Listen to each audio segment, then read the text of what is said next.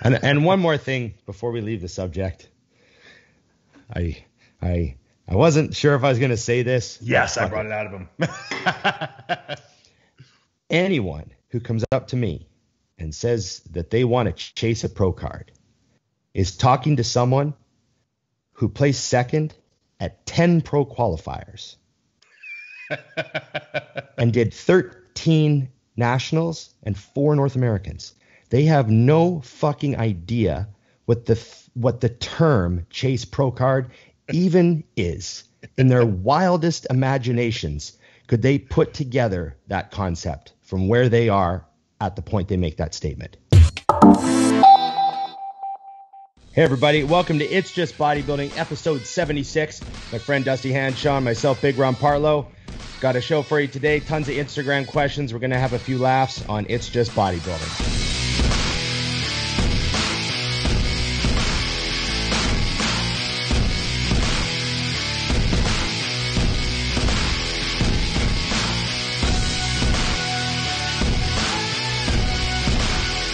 Okay, Dusty. It's a good word, man. I'm doing well. I'm doing well. I I might have to build a second bike just so I can sell it Well, that's fun. because I'm collecting parts by accident. How does that happen? Yeah, well, because you know I built the bike, Right. and then after I rode for like like the first like six weeks, my shoulders were kind of bothering me, and I was on some forums, and some of the guys were like, "I think you need taller bars, man. You're a big guy."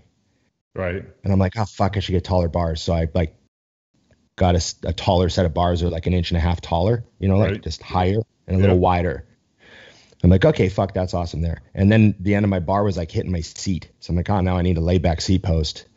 So So that's I got a that layback like seat this? post. Just a little bit. I just got like a one inch, just a subtle one inch drop back at the top, right? Just to move my seat, open the bike up a bit. And then, of course, because I put taller bars on, I had to get a new gyro cable because mine was too short. So now I got an extra gyro cable, extra set of bars. I got an extra set of pedals. I got an extra set of pegs. I got extra seat post. So you need a frame. so I need a, frame, and I got and I got extra set of wheels with tires Oh Jesus. Okay. because I Gotta my that. custom wheels built. Right, they took like three months to get custom wheels built because it was s- so short on parts. So yeah, What, what so is custom about your wheels? Explain this to me. well, I had them built. Like I picked the rim, picked the hub, picked the spokes, picked the tires, had them built and sent to me. How You much know. does this cost? That was like thousand dollars US. Holy shit balls! I got like the best fucking wheels. I got like top end, like plus it's hard to find chrome rims at the time, and I wanted chrome rims, Right. and there was like sold out because of COVID. So I managed to find a set of chrome rims, and then I found the hub I wanted. It was in Germany, so I had it mailed to me, and then I sent it to the guy, and he built it into my wheels. Just do a little shopping in uh, Germany Dusty, today. Dusty, that's you, you know you do the same thing, right?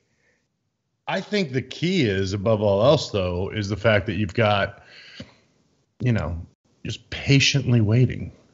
Now, now, when you got your new wheel or your new handlebars and everything, did you have to relearn your tricks, or was it easier? No, no, it actually a couple things. I was like, oh fuck, okay, good. Okay. and my shoulders weren't bothering me afterwards. So it was like that was the that was the main problem, right? It's just it was awkward.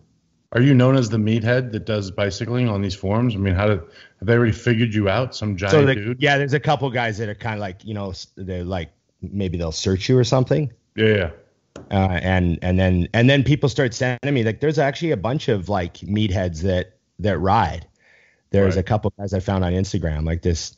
There's this one guy he, like you know he deadlifts 600 pounds, benches four plates for reps, and he he rides like park and street. Right. and he's like 240 pounds but covered in tattoos. And he does Ah. like he does like 360s off picnic tables over fences bunny hops cars. Like he he doesn't do any flatland but he he can like manual like back wheel like coast forever all around the skate park and drop down in the pool and pull a 360 out of the pool and stuff. He, he rides like that. Crazy. And then there's a guy um who's like an old school flatlander. He's like probably on 50 Mhm. and so he does like old school 80s tricks Right. you know, like Miami hoppers and cherry pickers, and and he like rides old school like that. And uh, he's like a big dude, like he's jacked. He's like 6'2", 250. So I found a, f- a few that do that shit, but it's kind of funny.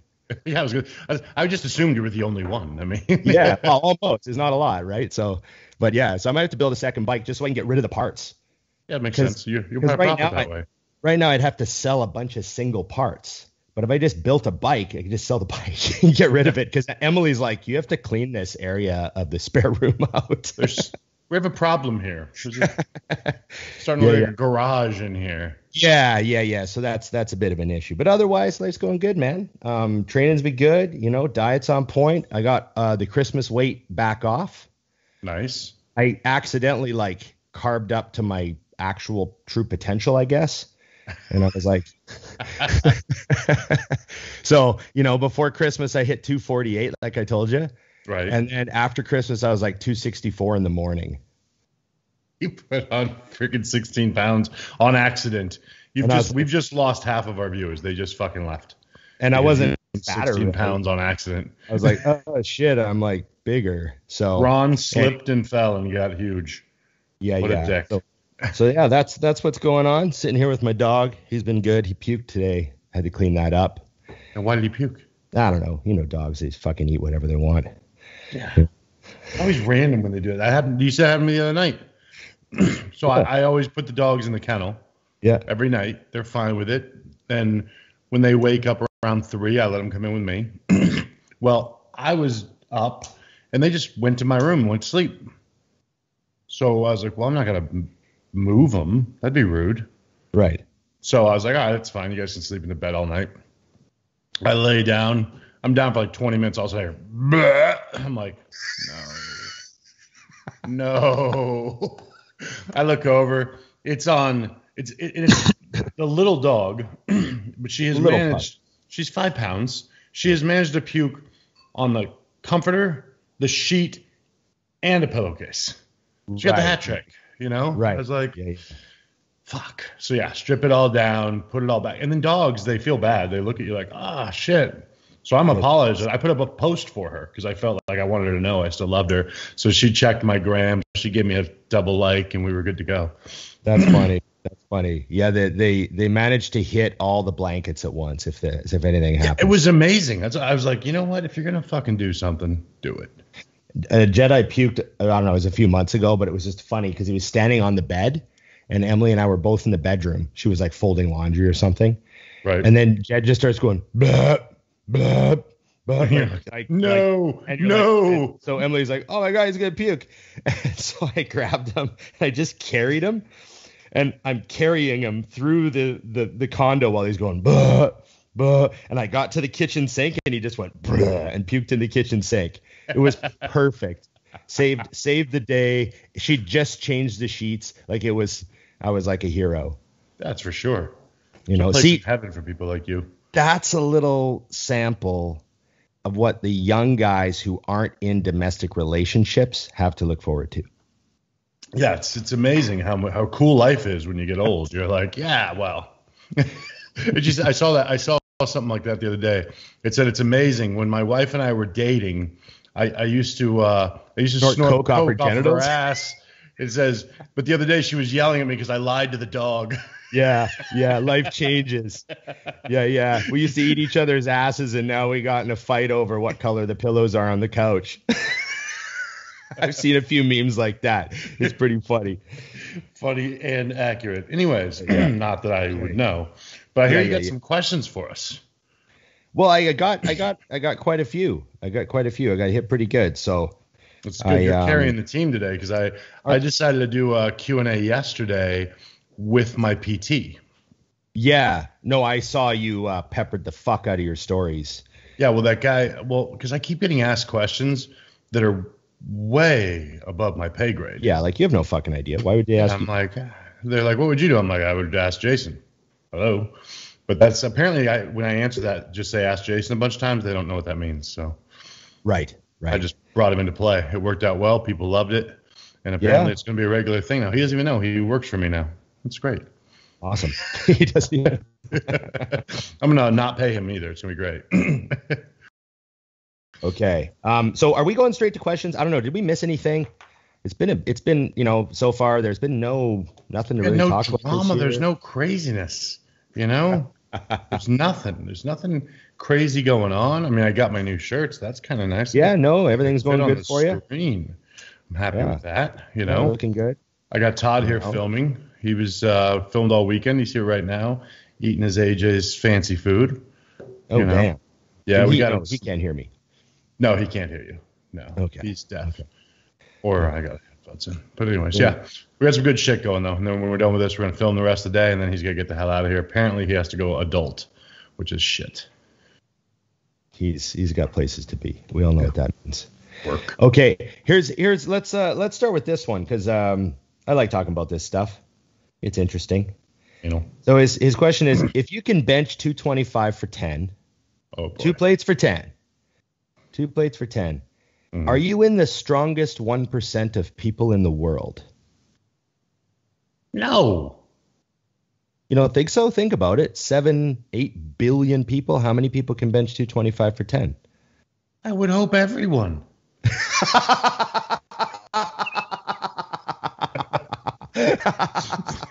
No, that's not how it works. I don't think that's how it works, Dusty. I think that maybe we're getting a little peek into how you view the, the rest of the planet. I, I I mean, one percent though. Ah. just think one out of a hundred. How like pick a hundred random people at the mall. How many can bench two plates for ten? That's what I'm thinking. I'm thinking it probably is. All right. And just think of all the the starving people and like you know all the people that live in like third world countries. They're not bench two twenty five for ten. Well, I don't know. I was gonna say maybe they are. there might be exceptions to that because they're tougher and harder. no, I mean, I, I guess it might be. You know what it is though, and it's funny you say this, but uh, it's the same with money. Right, right. Like, it like, makes- what I used to think what it took here. to be in the no. So in the U.S., I think it's the U.S. So don't quote me for somebody who's going to check us. But I think in the U.S., it's like a little over 400 grand puts you in the top one percent. You know, and in my head, that's just it's not that big of a number. right because we hear about these people that make like you know hundreds of millions of dollars a year and all this Well, sort did, of stuff. did I see you? Did I, I don't know if I sent you this, uh, but somebody put up a post. It was so funny. It said uh, to put things into perspective, if you made two hundred fifty thousand dollars a day since Christ was born, you wouldn't have as much money as Elon Musk. yeah, I saw I saw, saw a, a meme the other day. It said uh, uh, people think Elon's rich because he has um, you know, th- whatever it said, three hundred and fifteen billion dollars or something. Yeah. It goes, but just think, if you skipped 340 million lattes, you could have that same amount of money. See, it's not that much. No, If but I guess I, I, Lattes could be so much more ahead of the game. Like he just didn't drink lattes. that's it. He's against know? coffee. That's he drinks water out of the tap. Oh, And buy expensive it. Starbucks stuff. But I, I guess you're right. I mean, point being is because it doesn't seem like that much, but I guess it's true. I mean, how many people can do some bike trick? I don't fucking know. Not me. Right. Right. and also too, like, you know, we we think about it's just like anything, you know, how many people go to the gym? Okay, now what actual percentage out of all the Americans and Canadians that have gym members memberships, how many of them can bench 225 for 10? And even that's a pretty number. Yeah, it's valid. I mean, you start thinking about it, it's like some people that'd be like, oh, for one situation goal. Right. Right. You know, You know, so yeah. I don't know. It's interesting. It uh, it it also also begs like the whole topic of uh, how uh, disconnected we get from reality. Hence your initial response. Well, no, absolutely not. a little peek into what your world is like. I might You know? live in a bubble, just a hair, just a hair. Every chick is like Scottsdale hot. Everybody's car is completely cleaned and detailed and polished, and it never rains, and the streets are perfectly clean. And yeah, yeah. Yeah, Okay. that's that makes sense. Okay, valid. Actually, I'm kind of liking your world. it is. It's a nice place. You might want to move. Okay. Um, you know, we've talked about this before um, in various sort of ways, but uh, is is more of a focus like a 90s s conditioning making more of a return in open bodybuilding? Yes. I Right. think so. I think so. I think um I think what's interesting is uh what you're finding from talking to the athletes that are getting there and the coaches that are getting them there is all the bullshit's kind of falling away. Like I remember, um, uh, what's Patrick Tuor? He, uh, yeah, somebody asked like, well, what about cheats? You know, uh, or do you follow a diet year round? And he was like, of course. Like it was like a, the dumbest question on the planet to him. And cheats were like, why? Why would you do that? And I mean, point being is, I think that's becoming more and more regular. Uh, because when I look at it, when you and I started, you started before me, but when I started, you just assumed you weren't cheating for the entire prep. Yeah, like it would be like a dream if you got given one and you like you didn't really cross your mind, and then all of a sudden your coach would be like, "Fuck, you've dropped like 30 pounds now. Let's yeah. uh let's let's go up hard for a day and see and just see how how much you weigh on Monday or something. You know what I mean? Like yeah. and you like like get what I mean? You've already dropped 30 pounds. Yeah, you're pretty much ready. And or or the other thing is it wasn't always so when I first worked with JJ Marsh, there was no there was not a, there was no cheeseburgers. It was okay. Today we're gonna have you know 1,200 grams of rice. Right. Yeah, I know what you mean. And you know, even li- even listen to what some of our guests have said, like when Chad was on, and mm-hmm. he said, you know, we went real old school with Ramy this year, mm-hmm. and you know, it just sort of, um, like like the emphasis has always been on getting shredded. Like every yeah. guy for the last 20 years has been trying to get his glutes ripped. That's the intention. Yeah. Like so the the goal, they've had the goal. It's not like they lost sight of what they wanted to look like. They still wanted their glutes striated. But you know, like the I don't know, like I think guys who take tons of GH have problems getting really peeled sometimes too.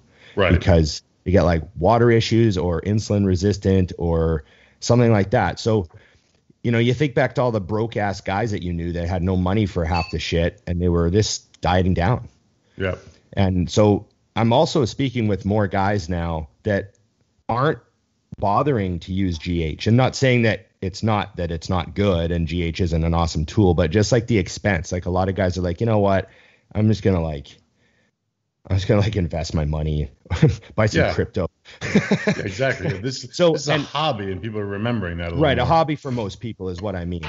But the but uh, the the thing about the the '90s conditioning is that uh, you know the, the the drugs were real. Fact. and and very expensive. So they actually most of the guys weren't like you know with the exception of like obviously we hear stories about Nasser and like guys pushing yeah. it but a lot, um, you know, the whole '90s condition thing mainly is is because guys were just taking a bit of good shit and dieting really hard. Yeah. So their body wasn't like all overly chemicaled, and I think that when guys stress their kidneys out with crazy doses too, the water issue is like a bigger deal. Like if you're on a thousand megs of tren, which is kidney toxic, and yeah. you can't get dry, you know. So I think those things go hand in hand. And if you're using just a little bit of tren, I I don't know. That's just how I feel. Well, think so, think about like the the highest end of natural bodybuilding. Yeah, they're like, like those guys are peeled, and there's details. I mean, truthfully, like even me and and stuff like details they have, I don't have. And just think about how how clean their bodies are. That's my point. Yep. Yeah. Like their liver has no stress. Their kidneys have no stress. Yep. You know, they're you know, so I think there's something to being, you know, to that. Is, is I also think that there was back in the day, like when you're a natural bodybuilder, uh, if you're obsessive, then you don't want to lose size, so they diet longer. Uh, that's another thing. You yeah. know, because we look and go, all right, I need, you know, eight weeks to get ready, so I'll do it in 10, you know, right. or 12 or whatever. You know, I've always liked going longer, um, but no specific reason. It's just I always felt like, well, if something goes wrong, if I get sick, if I take an injury, I'm okay. You know what I mean? Right. Um, but no, I definitely think, I definitely think we're heading back in that direction. I think, like you said, it's simplicity, and quite honestly, I think we're surpassing it in a lot of ways. If you look yeah, at the guys that were yeah. peeled, that's the only thing I don't like is it's become something we kind of all agree with. Like, oh, the '90s were harder, and I'm like, who? like, yeah. like, you know what I mean? Like, you start looking like okay, who who in the you know name five guys, since we all pretend it was all of them, that were harder than Iain was at the Olympia this year. In Yeah. whatever year. Very, There, very there true. aren't five. So when whenever if I ever seem to agree with the sentiment that 90s conditioning was better, Mhm. I'm looking at it from a depth point of view. Right. I don't necessarily mean the top guys. They're just as hard as ever. Like Iain, Iain's Iain's as hard as Dorian was, Right. right? Like so, um, you know that that type of thing. Like Fouad just put up a picture for the, from the Atlantic City in like 08, Yeah. Or whatever that was. Yeah, the rear double. Yeah. and it's like that's as good as anyone ever, and then like as conditioned as as you know all the got- top guys in the 90s. Yep. Um, but what I'm talking about is at regional shows, at national shows, Yeah, that's the depth sure. of the depth of the classes. That's where I see it. So, you know, I, I can agree and disagree with the statement 90s conditioning is better. It depends on who you're talking about and what Right. level you're talking about. I mean, the Olympia this year was fucking awesome. Yeah, that's Like- a valid point. I didn't think about. It. I guess you do tend when that sentiment is stated. I and most people look right to the highest end, but you're right. Like at the at the local level, and I haven't seen it yet. Remember, I had that rant earlier in the year or late last year because I went to a show and I was like, "Oh, so no one dieted." Right. Like, I mean, it just blew my mind because the show was there for someone to win just by being peeled. Like a bantamweight could have won the entire thing if he was inside out. So I've seen a few lightweights win overalls in like the last five years, Yeah. you know, and that actually is like kind of evidence that conditioning is an issue. You know what the, the other thing is though, and I think uh, most coaches can agree. Somewhere along the way, this became a thing. Like you could never get flat. I'm a little flat. I'm like, you're seven weeks out. I don't give a shit. Yeah, I remember. I remember I had, you know, I had a coach uh, when I won the '99 Albertas, which was like a, a good show to win. Like it's it's like winning a good state show. Like you know, you usually do well at nationals if you win the Albertas, right? That's how it used to be. And um, which I did. First time I went to nationals, I got second. So you know, Right. it was uh, it's it's a it's a good show to win. And um, I remember the coach I had for that show. His name was Brian Logue, and uh, great guy. And uh, I remember the whole diet. He was like, I don't I don't give a shit how small you feel. Like I want you to feel like I want you to be like calling me going, I think I'm shrinking. That's what we're doing to you. I don't give a shit. Right. And I was like, okay. And because he promised me I'd win if I listened to him. He goes, if you listen to me, you'll win. And I was like, okay. Right. So it was just I just did it. And I remember like looking down at my arms and being like, fuck, I feel like a swimmer. Right. And then like when I get my stage photos back, I'm like, oh, I destroyed everyone. Right. Yeah. Yeah. Oh, never mind. It wasn't even close. Yeah. so yeah, it's just that's the you know and and that's a good experience to have early on. Like that was only my third show, right? So Mhm. you know I had that experience on my third show and felt what it was like to win everything. Like oh fuck, okay, if you just do that, you beat everybody. Okay, that's Yeah. programmed in my head now. So you know what I mean? Yeah. So I guess it's easier if let, let's say you do something like ultra hard and then Mhm. it pays off. Yeah. Obviously, it's an easier lesson to learn. Yeah, then it's like, oh, okay. Well, plus, I mean, I think you also teaches you that, like, so many people are worried. Like, I, it always blows my mind. Like, you're a middleweight and you're worried about being the biggest. It's like, you're a Yeah. middleweight. Yeah, yeah, yeah. That's yeah. not going to be what because I never went into a regional show with any thoughts other than the overall. So I had to beat everybody in my Yeah, head. yeah, yeah. It wasn't like, well, I got to be the biggest guy because I'm a super. Well, then the problem is then I'm the fat guy once I'm against the light heavyweight. right. You know what I mean? So it was kind of like, no, you just have to be nuts Yeah, and you'll yeah. be fine. So that's true. It's good. It's a good point though. And I think part of that, what you said, and I do that with clients. You ever ever somebody that's in the off season, so they're real, real heavy when they come to you, and I'll tell them, okay, you're about to hit a phase where you're no longer as big as you were. You're also not in shape, so you're gonna think I'm fucking up, and you look worse. Right. Stick with me Right. just keep going. If you do that, once you get through, I call it the ugly phase, you'll start to look bigger just because you're getting harder. You know, Yeah, yeah, what yeah. it is is they're in their t-shirt, they feel like they're swimming, and then when they take their shirt off, it's not drastically better, and they're down 17 pounds. Yep. You know, Yeah. it's a it's the mind fuck. Like I don't really look much better, but I'm definitely smaller. I, I, I used to say, you know, when I was real heavy, I could take off 20, 20 pounds like taking off a pair of socks. So true. So true. and they still look exactly fucking same. Yeah, you're like, great. Yeah, I'm, yeah, I'm just lighter. yeah, yeah. Okay, here's one for you. What do you feel gets more overanalyzed, diet or training? Jeez. Overanalyzed. Anymore? Both. I mean, ah, God, I don't even. I don't. What do you think? I don't know what I think is more overanalyzed. I mean, I think in my experience with some of my clients, they're pretty well trusting me on the diet side. Um, but I do get a lot of like, actually, I had a guy this week that was perfect. Only weakness on his physique is his back. Right. You know, I mean, everything else is great. And I get an email that says, Hey, I'm thinking my hamstrings are lagging a bit. Now, this is the same email where he stated that his arms are small. He's like, So what I'm thinking is I'm going to split my quads and my hams up, and then I'm going to train back with bis and chest with tris. What do you think? And I'm like, So the weakness is your arms. You've already stated that earlier. Now we're going to make them secondary to a giant muscle group. Okay, strike one.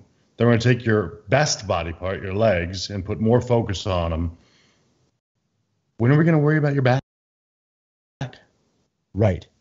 Because I told, so I emailed back. I'm like, I don't give a shit what you do with anything. In fact, maybe we just train everything else less and we do back twice a week or three times a week. Right. like, you know, because it's that those analyzations of the little tiny, tiny stuff. And it's like, I gotta tell people up front, most of the most of our starting point trainings I already have written. I alter a couple things based on injuries and send Yep. them. Because it's it's gonna be different for you. It's gonna whip your ass, I promise. Yeah. So how how I look at it is I think training's overanalyzed more than diet. hmm Um, the reason I say that is because a lot of people follow if it fits your macros now. True. And that's actually like a much less analytical way to eat, Right. right? You're actually simplifying it, Mhm. making it more livable, and making it easier to do.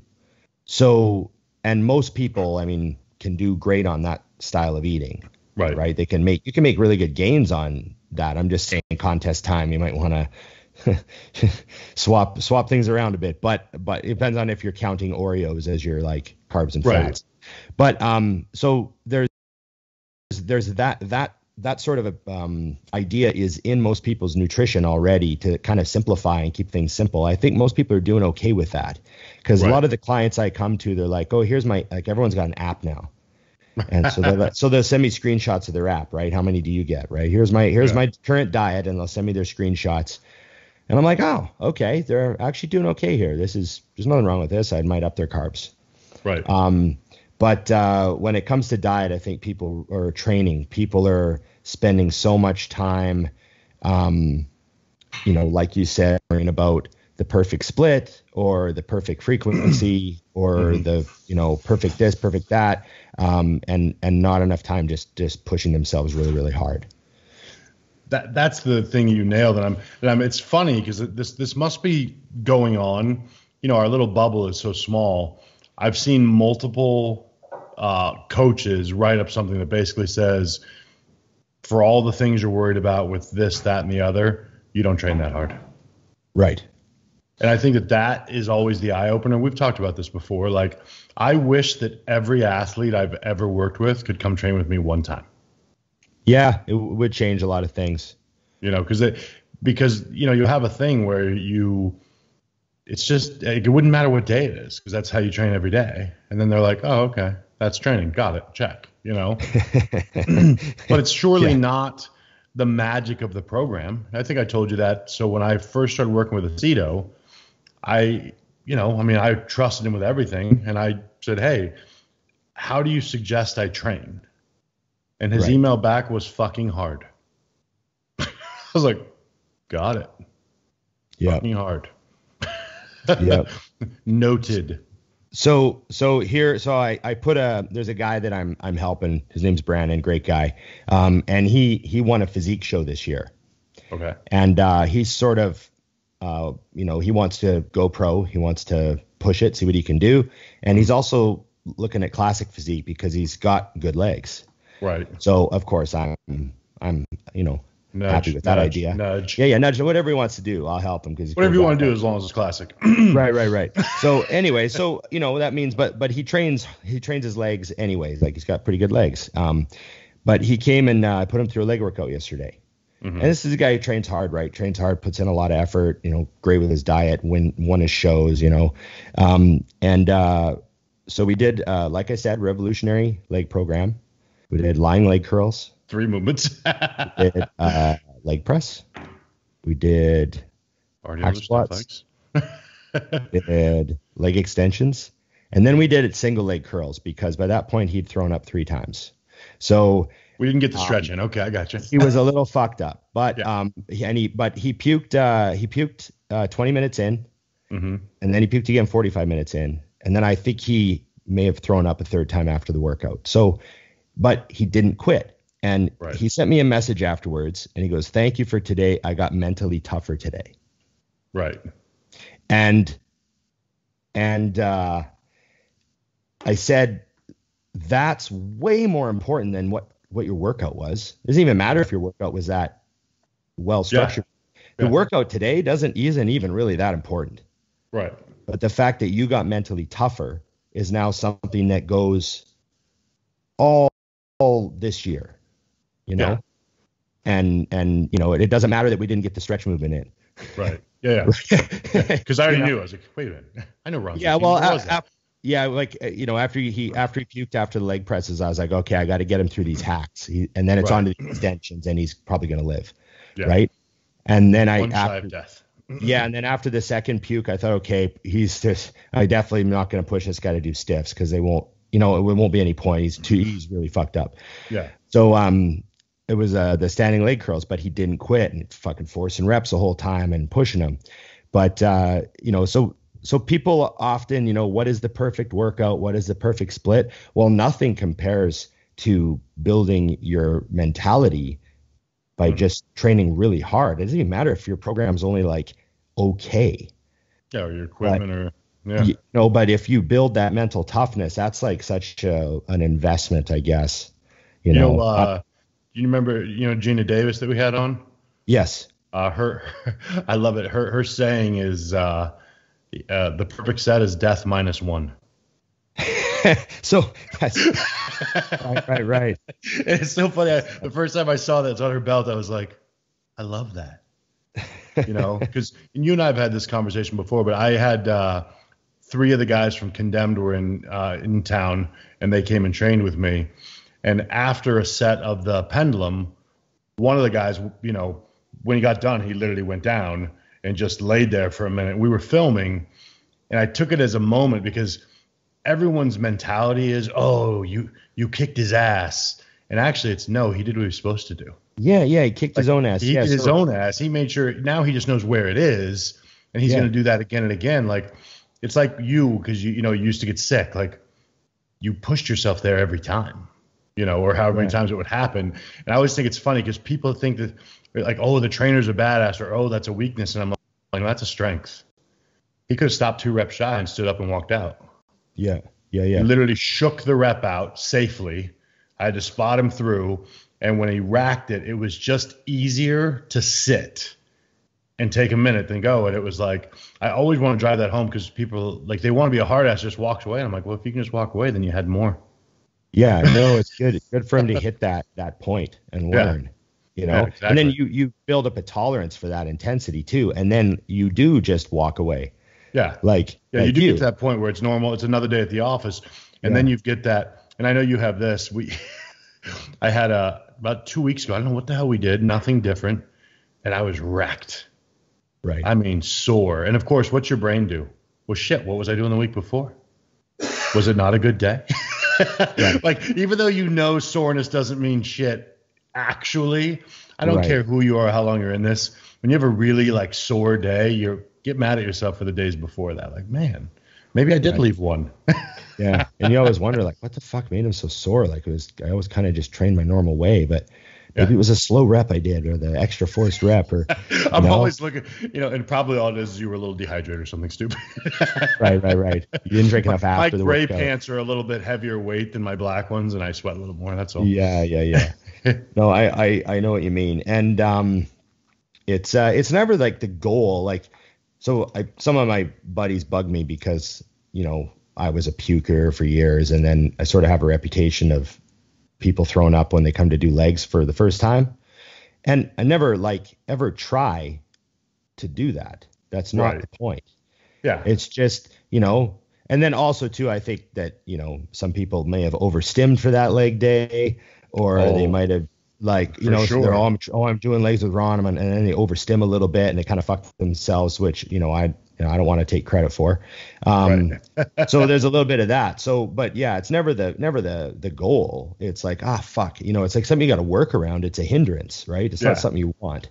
Yeah, um, shooting for it. That's I did the. You know, it's funny. I don't know when I got all my products. Uh, the first day that I was using them was hamstrings.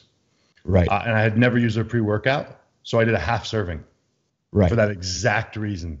Oh yeah. I was like, I need to make sure. I haven't. I mean, I've read the label, but you know they all hit different, or the pungency of the flavor, or whatever. I'm like, I can't risk me not being used to this being the reason I get sick or the workout gets fucked up. So it was right. literally you can go up to two scoops with theirs. It's those small ones. So I literally took a half scoop the first day, a scoop the second day, and finally was on two full scoops and realized I was fine before I like went for it. right, right, right. Yeah, we sell pre-workout by the scoop at the gym. All right. right. So a lot of people come in and they're like, "Oh, I'll have a scoop of this, have a scoop of that," and it's interesting to hear. Like we have like six different pre-workouts that all sell really well by the scoop. Right. So like some people, like everyone has their own preference, you know. I mean, you might have someone who works in an office and they've already had four cups of coffee that day. Right. So they just want to pump one because when they have anything with caffeine in it, they just like, oh, that's too much, you know.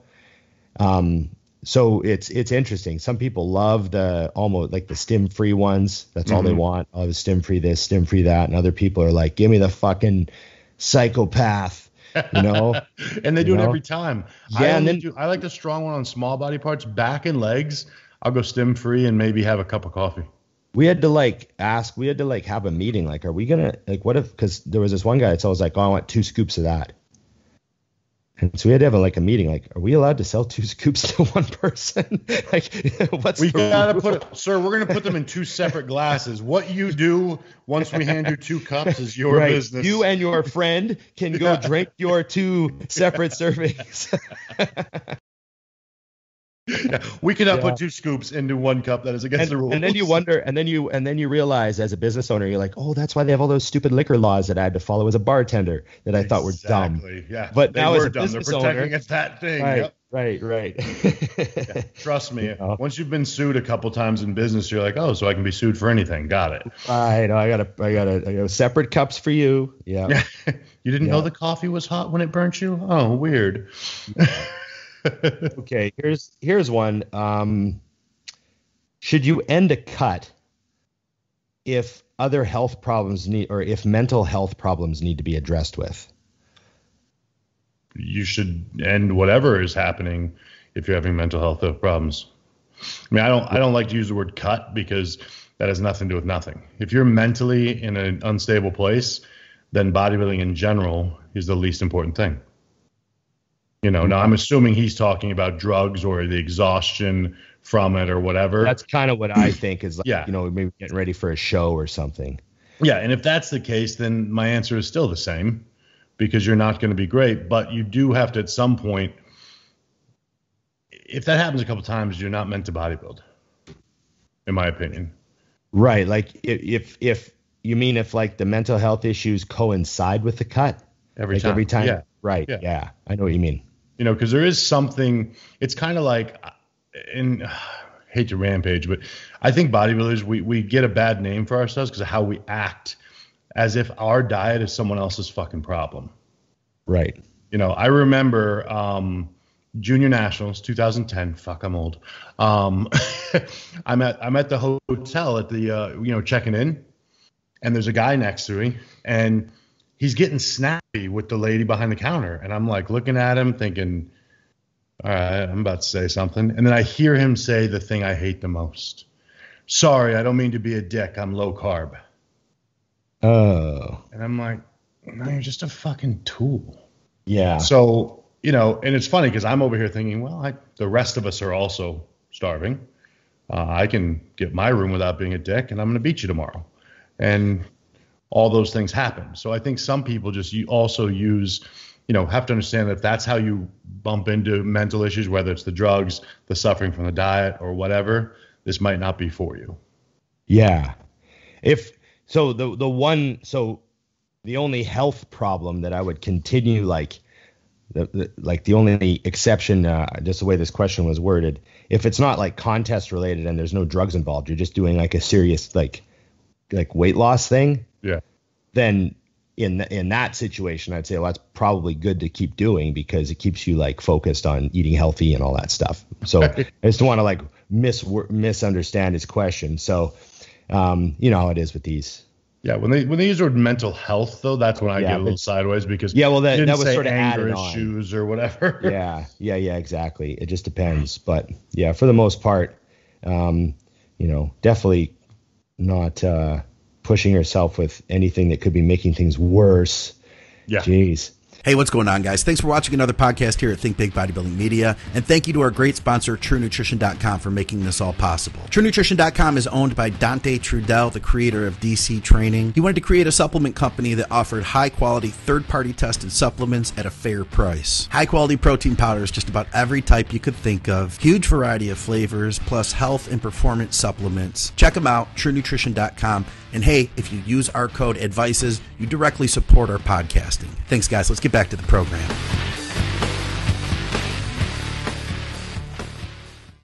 Okay, here's one. Um, I just turned 35 and have never competed before. Is it too late to chase a pro card? I'm gonna let you answer first because I'm gonna rant. Go ahead. I would say that that at 35 years old, uh, never competing before, um, at any age, never competing before, the idea of chasing a pro card um, just shouldn't be the focus, and uh, that's a huge problem. And it it, it 99.9% of the time, unless you're a 19 year old Jay Cutler, um, it just leads to like huge disappointment in the experience of competing and it, it's not it's just not the right approach and if you talk to all the guys like who have like you know talk to all like the pros i'm talking about bodybuilding talk to all the pros like none of them were like oh yeah i just decided i was going to be a pro bodybuilder and i started competing that's not how it happened for any of them True. they were like, "Oh, I love bodybuilding and I thought it was awesome and I, I fucking was training. Everyone was telling me I should compete and I did a show and I fucking won and I won the next show and then I thought, fuck, I'm going to nationals." Right. Like it, it's or they grinded away for years and years to win each show and they just wanted to get to the next level. But like the whole like, oh, I'm gonna I'm gonna pursue the being a pro bodybuilder even though I have never been on stage before. I think that causes way more problems and ruins it for a lot of people. Right. No, I think, I think you nailed it. I was that's why I said I was going to rant. Is I don't Did know what it is about you? this. No, you did flawlessly. I don't know what it is about our sport that people are just like, ah, fuck, I'm going to go pro. Like you wouldn't like you don't pick up a, a new set of titleists and be like, you know what, I'm going to be a professional golfer.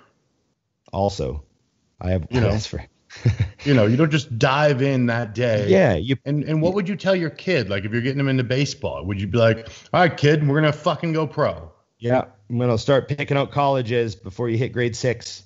Yeah, like I think the better thing is, and it's so funny that this came up today because uh, today uh, Dorian put up a picture and it said on the picture, when I started bodybuilding, I never dreamed of being Mr. Olympia. I saw that. I just That's wanted to get better. That's so funny. And I saw that and I was, and I literally, I haven't even had time to scan today. I, that popped. And when I got into bodybuilding, truthfully, I was done with hockey. I realized that I needed an outlet for athletic something because I was like a nine to five. I didn't know what to do. Right. I went to, I got a gym membership This is literally like the check check of it. I got a gym membership. I walked into Golds. I was intimidated because I was a little out of my element because I was at the hardcore gym in the city, and there was a sign on the wall for a show in like eight or nine weeks, and I was like, "All right, I'm gonna do that." That's funny. Yeah, you. It, that's awesome. That's that's how it starts, and that's how it should start, very organically. And if you act like the fact that you think you want to be a pro and you've never competed, that's what's ludicrous. Right. Like you don't have any clue what life as a what would it take to be or sustain being Are a pro bodybuilder. like? Yeah, like who? That's the thing. Like, it's like in order to be a pro golfer, like you said, you got to play golf, and you got to play golf so much that people start going, "Man, you're always just golfing. You never come out anymore." Yep. And then you start making golf friends so you can golf together. And then your wife's starting to get irritated because you're golfing all the time, and you're golfing, golfing, golfing, golfing, and you're like, "Fuck, I love this." Yeah. That's what you have to do in bodybuilding before you can even consider being a pro. You know? I used to see, um, and I'm just going to say by name because I don't mind. It's not an insult. I remember like Gabe would, when he was getting ready for shows, he'd bitch the whole way. And he would, I can't wait for this to be over. And then he'd tell me, man, I can't wait to turn pro. And I'm like, why do you want to be a pro? You hate this. Like, you love being a bodybuilder and you're a big fucking dude and you love to train and you're a freak. But if that's all I loved, I don't want to be a professional bodybuilder. I want to be a gym rat. And in this world, I could still make a ton of money and make a living at it if I want to. But I think that that's another thing is like you don't even know if you like it because I'll be honest, like, and you've done these years where you've you do the USA's and you're like, oh, well, I'm gonna I'm gonna do North Americans, I'm nationals. You diet the whole year, and it's fun the entire time. Yeah. Why would you do this to yourself? I'm just in the groove right now, and it's awesome. Yeah. Like Yeah, yeah. someone who isn't one, like I hate to say it like this, but someone who isn't one of us would be like, well, you're missing out on life. I'm like, no, this is life. Yeah, I don't. Yeah, and and one more thing before we leave the subject, I I I wasn't sure if I was going to say this. Yes, I brought it out of him. Anyone who comes up to me and says that they want to chase a pro card is talking to someone who placed second at 10 pro qualifiers and did 13 nationals and four North Americans. They have no fucking idea what the what the term chase pro card even is. In their wildest imaginations, could they put together that concept from where they are at the point they make that statement? Imagine had you said that. How's that? Said, well, Ron, it's going to take 13 professional attempts, and you're going to put yourself through hell for 15, 16 and, years. and model and you're going to model your entire life around it so that Yeah. it fits Yeah. and every relationship and job and and vacation you take is going to be completely tailored and dictated by your bodybuilding it's actually funny when you start to point it out that way because I had a kid So, reach yeah. out to me. Uh, i on want to email. i want to start chasing a pro card oh oh pull up a chair. pull up a chair Yeah, but think about this because it's actually accurate, and there's and I don't think there's anything wrong with it. But in that sentence, if you're like, you know, oh, is that your is that your girlfriend? Cool, pull her down here real quick. So when she starts resisting, okay, and she's like, yeah, yeah, you go, get rid of her yeah because if you really are chasing that, and it's really the thing you want the most, that's what you would do. Right And that and that's like, well, I would never do that. It's cool. So let's just do a show. you're like Let's just do a show. She can stay. that wasn't too much was it dusty Uh, no, I mean, I got to be honest. I, I don't want to chase a pro card after hearing that shit. It only took me four years. anyway, so yeah, so anyways, back to the original question: Is it is it is it too late to chase a pro card? I mean, I'm not saying you can't turn pro. Like you, who knows? In five years, you might get a Masters pro card in whatever division you're in or something. Uh, You know, Might it might happen. Olympia for 44 years old or whatever that uh, what's his name did last year. The right, 212 right, guy. right. Yeah, yeah, yeah. Come on. Mm-hmm. Um, but you know, like there's always like crazy exceptions to things. But you know, I mean, Vince Taylor started training when he was 30. You know, That's- so I didn't even know that. That's crazy. so it's it's like you know, there's always exceptions, but it just it's just probably not a good like focus. It, it- get into bodybuilding, compete. It might change your life for the better in a hundred ways. Yep. know what I mean? So that's so I'm not saying that this person shouldn't compete and shouldn't try to be as good as they possibly can, but the focus shouldn't be on being a pro. It it if that if that's going to happen, it'll it'll it'll it'll make itself it'll yeah. organically show up in the in the spectrum of possibilities. Mm-hmm. You know what I mean? Very true. Here's one. Now I don't. I'm I'm interested to know like. Oh boy. I don't even know if you've even read this book. Okay. Because it's sort of a generational thing. In your opinion, how important of a contribution was Arnold's Encyclopedia of Modern Bodybuilding? I have uh, sold that book many, many times because it was in my store. store? Okay. Yep. um, never read it because by the time I was re- would have read it, it was dated. Right. You know. Um, so contribution to me, I would say it was huge because so many people uh, that was the go-to before the internet. You know, when people used to come into my store, they were like, "I want to, I want to know bodybuilding." I'm like, one second, please. Do you want to know the chemical side? This is Anabolics 2002." Or do you want to know the bodybuilding side? This is the encyclopedia. Bo- oh, both. Here you go. Yeah, right. right. uh, yeah, yeah. I I uh, I remember getting one for Christmas. Right. When I was like 15 years old. I got Arnold's Encyclopedia of Modern Bodybuilding, and it was the original one with the old pictures in it. It wasn't they updated it and put like pictures of Dorian and Lee and all this stuff in it. I didn't know. That. And um, yeah, they updated it and they swapped all the pictures out for like modern color photos. And um, I that saw hurts ver- my soul. Yeah, I saw a version of it and I was like, oh, I don't like this at all. Um, So I'm not sure if it was like a limited edition or the I don't know what exactly I was looking at, but it's had the same cover. Um, but uh, I had the original one with all the Tom Platz pictures in it and yeah. Boyer Coe and everyone in there, and it was like it contributed huge. And yeah, it was dated and you know, but I remember like reading about diet and Arnold's like, yeah, you need calories. So I used to make shakes with like eggs and fucking yogurt and fruit and ice cream and, and I'm like, oh, boom, let's do it. And I just started blending up big shakes and drinking them and gaining weight and mm-hmm. and and you know and uh, he would he would talk about um, you know how hard he pushed himself and, and it was crazy high volume.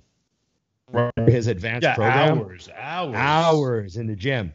But when you're young, like that was actually good. I did this crazy Arnold volume the first like two years I worked out, mm-hmm. and I mean, that teaches you motor skills and because you're not using heavy weights yet, you know, it's yeah. not like you're DC training when you're 15. Yeah. Um, but you're like, you're, you're, you're putting out this enormous effort. It's building this huge tolerance for workload and it building this, you know, I mean, you're a kid, you can handle anything. Right. So I was just killing myself in the gym, training legs for two hours. Oh, you got to do six exercises for quads, and like boom, boom, boom, boom, boom. Exercise. My brain actually switched that to sets. Yeah, you know, like just yeah, and and and and it taught you to train pretty fast too, because you're like, shit, my mom's picking me up at five thirty.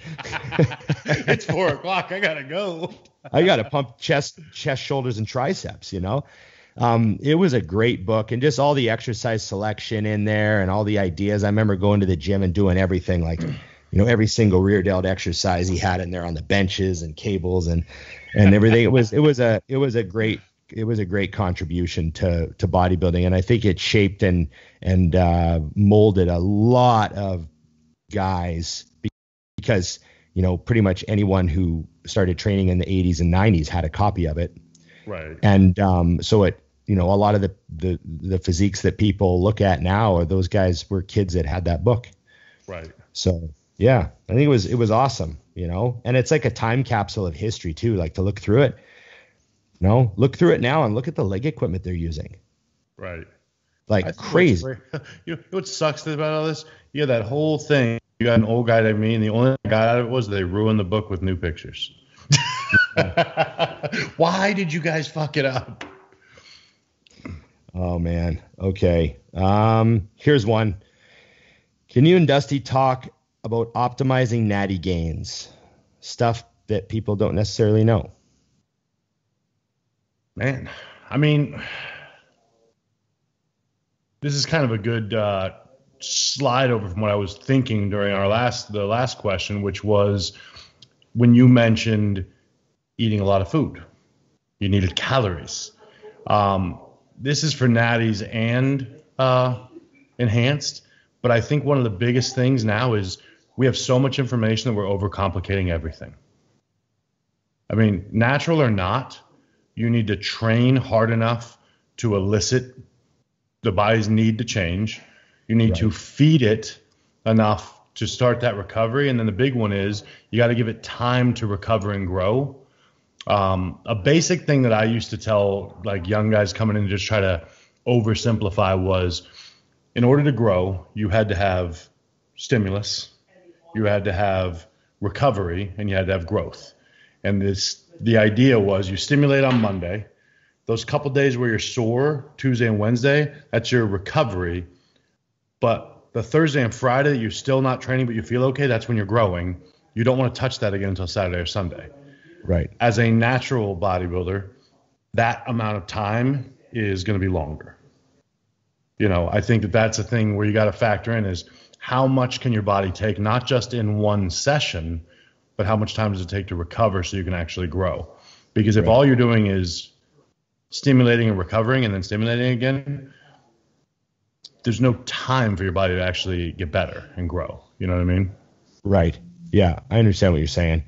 Um, I, I think something I would add to that is that, you know, aside from the odd exception, there aren't any real differences. Mm-hmm. You know what I mean? Like, oh, there there's is. There, there's there's the recovery time thing. Yep. And that also could be handled like maybe they do fewer sets more frequently. Right. So there's also like, which is you know, which goes for everybody, but um, there's a recovery time thing that you have to manage. But other than that, everything else is principally the same. Yep. You know, you need to eat, sleep, and train. Your position, like your hand position on the bar, doesn't change if you're natty. Mm-hmm. You know, you don't put your feet in a different spot if you're natty. You yeah, know, like rest should be the same. Yeah, I mean all the yeah. rules, all the rules apply. I agree. Yeah. So so that's that's. You know what the biggest yeah. thing would be is patience. patience, taking longer to diet. Yeah, taking longer to diet and understand it just takes longer to get the same result. Right. Right. Okay. Um, what other podcasts are you guys listening to right now? Uh, you know what? I don't. I don't really consume. I don't have time to consume a lot of other people's stuff anymore. I will get the. Um, it's kind of funny, but I I look at Instagram as my Cliff Notes. So a lot of the podcasts, including Rogan and all those, uh, will have kind of the the things I want to see will pop up on someone else's feed, and I'll get to see them real quick. Right. Um, the only thing that I will admit that I like to do is I like to look at some of the bigger podcasts and see what they're doing because between number one, I've got this one, and I'm also working on, on a second podcast I want to start. Is uh, I want to be better at it, and there are some really really good podcasts to watch to see why you suck. right. you know, I mean, it's funny, but um, you it's something a lot of people don't know that they they get confused on. Like when when you and I decided to start this show, remember? You're like, well, how do you want to do this? And I'm like all right, so this is a radio show. You got like the main guy and then you got the back guy. I'm like, I have to be the back guy because I was so used to being interviewed. I didn't know how to be the interviewer and not like fuck it up and talk too much and take over if we were interviewing somebody. Remember that was like the first thing I told you. I'm like, right. Ask me to jump in on the side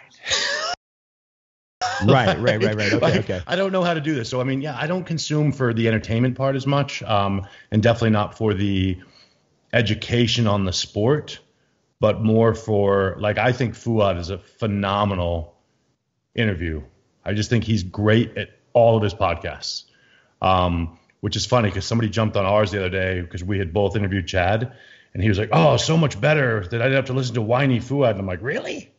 He's fucking awesome at what I he love does. His show. I wish I had like, more time. To, I wish I had more time to listen to all of them. Yeah, I mean, I think he know? just knows how to do it. Whereas, like on the flip, um, I have done Palumbo shows a few times as a guest, and I always felt like I never actually got to answer a question. Right. I'd be like halfway through the answer, and he's like, "Ah," and he would take over, and I was like, "Oh, you're gonna answer it, okay." You asked me. well, so if if if I have a little spare time, I Mhm. will put on Fouad's Real Bodybuilding, where he Mhm. interviews someone.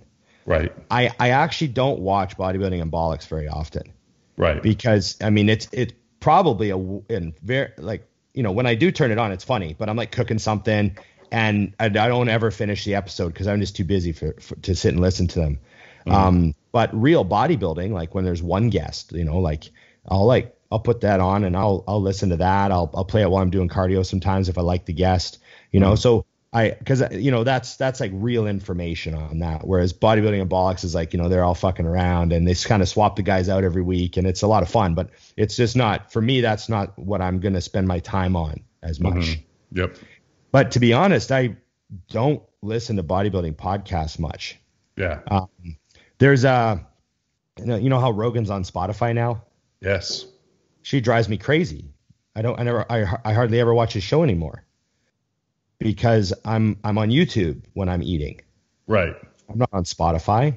Right. And um, and and there's a guy named Lex Fridman. Uh, he's uh, super smart dude, and he has a, a podcast where he interviews like scientists. right.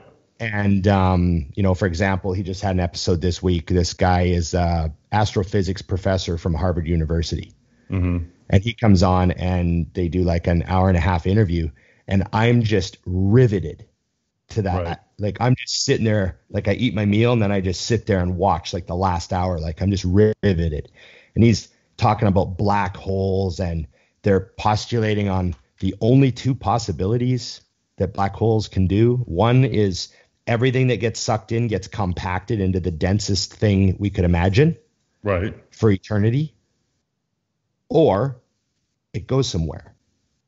Right. Like, does it like the whole idea? Do you pop out in another dimension? Right. Do you get you pop out? Do you slide through space and time and come out in another area of the universe? We just don't know. And they talked about that for like 30 minutes, and I was just like, holy fuck, this is crazy. you know? And then the other idea is that it just gets compacted and continues to get denser and denser and denser beyond our wildest comprehensions. right. And so like listening to that stuff and he's he's talking about different anomalies. Like there's an object called the um Anuanua, I think they call it. It's like a Hawaiian name. Right. But they've discovered this long cylindrical be a rock, but it doesn't reflect light like a rock and it behaves differently and it actually changed speeds at one point. And it's like out beyond our solar system. They're measuring it. It's like passing by our solar system, but it's actually its speed increased. And they're like, okay, that's fucked because it should just have the same speed that it got thrown out at Right. and it shouldn't actually pick up speed. So did we just pass by on like an alien artifact, something that was made billion years ago by another civilization? Is it a probe? Is it is it a relay station? Are there millions of them, like cell phone towers all over the it's galaxy? their airplane. like like what's the con like so these these theoretical concepts of what this object could be. And I'm just like totally riveted. I can't even stop watching it till it's over. And Emily's like, "What are you listening to?" What's wrong with you? And Yeah. this is why you're the king of useless information. Right, I can't help myself. So there's the odd thing like that. Like I'd I'd rather watch that than a bodybuilding podcast just because it's like I sat there and just learned. So um yeah, there's stuff like that gets me sometimes. You know what I love about it? You learned theories. You didn't actually learn anything. Yeah, like you know, that's the that's the beauty of like the the way that works though, because that's my brain. I'd be like, so this isn't for sure. I'll probably never know. Okay, care. you know, you know. but that that makes sense. Yeah, I think it's surprising what uh, what you don't consume. I think also one thing that you don't realize is um, the the so there are a couple guests that Fouad has that I don't know on Real Bodybuilding Right. that I that I want to go watch because I don't know like- anything about them, and I'm like, oh, I there's probably some shit I can learn here. right. you know, like can, where- you name, where- can you name someone? He just had a guy. I don't even know who it was. I just I just skimmed. He had a couple. I don't even know. I literally have no idea who it was, but there was a couple clips where I was like, oh, this guy knows his shit, and I don't know who he is. Oh, so I don't I don't even have a feel for what he could have. Whereas like John Meadows, for example, he's coached me. You know what I mean? Right, And don't me wrong, he's Right, right. he's advancing, but it's not as uh, it's not like I have no fucking idea who you are. Right. You know. I what you mean. Yeah, yeah. Well, we've You know, had him on the show. Yeah, exactly. okay, here's one. What is the longest amount of time you've ever gone without shaving or shaping your beard? Oh my god. How homeless have you gotten? It's been you know what i haven't i can't do it because my hair which actually i almost did before the show it will grow over my eyeballs upwards there's Oh, your beard hair- comes right up, eh? dude my, my beard is up here if i don't shave it i go i go get it professionally done every single thursday Ah, there you go. Plus, Yeah. isn't there like a like like isn't there like kind of a community standards rule in Scottsdale? yeah i think they'll evict me Yeah, Pretty like sure. they make you move. Don't Well, they make you move to Phoenix? unless you're cool like cool guys who's like ah he's cool that's definitely not me so Right. yeah, you know, it's it's funny because I always say like I don't try very hard. That lowers the standards, and then they're like, "But you get your beard shaped every week." I'm like, So if like Post Malone comes to town, they don't make him clean up. "Yeah, because he's cool and he has Right. tattoos on his fucking face. So what are you gonna do?" Yeah, yeah, yeah, yeah. Well, that that's where money meets, and they're like, "Ah, but he's rich." right, right. You can wear bedroom slippers and hospital pants. Yeah. I mean, don't you remember that's uh, I, there was a there was a quote from I think it was Dolly Parton back in the day. So it costs a lot of money to look this cheap. and I'm like, makes sense to me. So yeah, she's, no, I, she's she's a spark plug. I She's had some that. great quotes. Dolly Parton's had some great quotes. Yeah, and, that, Yeah. and I love that. I live in Scottsdale. I see it all the time. I'm like, I know exactly what that means. Costs a lot of money to look this cheap. oh man, I'd say I went. Uh, I think I easily went two months. Without even touching it. Yeah. You're a machine. What about your think- head though? Did you keep your head tight or you just let it all go? No, I I remember um, I went through a breakup one time, Mhm. and I just like did the old like, fuck the world, not take care of from here up just to keep everyone away from me. Put everything from there down got its usual attention. Oh yeah, the balls were trimmed. I was fine. You know, I was in shape, sticking to my diet. But from here up, I was like, oh, Ron's going through a crisis. You know, it sounded like my cry to the world. Announcement made. He's definitely not dateable. Yeah, that's just flawless. Yeah, yeah, that's funny. Um, here's one: is uh, 500 milligrams a test twice a week, so a gram a test. Is that too much? My coach said to start this cycle, but it seems like a lot. So we're assuming the guy isn't like Advanced. adva- ad- ad- maybe he hasn't done a lot of drugs, so this is like a shock to his system type of a cycle. Yeah. So what would you say about that? Yes, too much. Yes. Quick, easy, done. There's no reason for like. I think that's the thing. Number one, if and I love that this guy asked that because that alone is your answer. If you think it's too much, it is too much because that tells me that you're taking half of that or even less than that. And there's no reason because I can promise you, and here I'll be really, really blunt because everyone thinks that we shy away from drugs. If the key to being better was just more drugs, I would buy more drugs right. like I don't have a shortage of of finances to buy sixty five dollar bottles of drugs, nor is it hard to take it. It requires no talent. That's not Right. the answer on how you need to get better. Um, plus, uh, and this is something Dante drove into my head over and over and over again: is drugs hide mistakes. yeah. So whether you're dieting, which I think he said he was in contest prep, um, or you're trying to grow, you might think you're doing better than you are because the drugs are doing their job Right. you know so the answer is yes it's way too much and Yeah. just for the record a gram uh, of test is the highest that i ever go Right. Yeah, I was like last, you know, the last time I was using a thousand megs a week of test, I was like three three fifteen or three twenty. yeah yeah I'm, So- I'm, I'm here i'll tell you this i'm at 300 right now and i'm not doing that Oh, did you hit three? yeah Because you were like two ninety seven last week. yeah I, I actually uh, yesterday which it's been a good weekend of eating todd's here so Yeah, no, I saw that. I, I actually that actually crossed my mind. Yeah. So, So- no, but, but yeah. So I mean, Graham is. I think what's scary is in our industry, it's gotten like that's like a starting point for guys now. Yeah. You know, I'm like a gram, Jesus. I just get tired of taking shots. oh man. Okay, here's one. Um. Oh, I lost it here. Let, let's let's let's have an attempt at this. Define working set in a sentence. A sentence is a bunch of words together in one group that have yeah. Never Well, the problem is on on the internet, a sentence can be like 45 paragraphs long right. with no commas, no nothing. no capital letters. Yeah. You know, sometimes when I get a like somebody's sends me a, a question or something like that, I try to read it the way they wrote it right. with with no punctuation. Very difficult. Uh, okay, working set is man.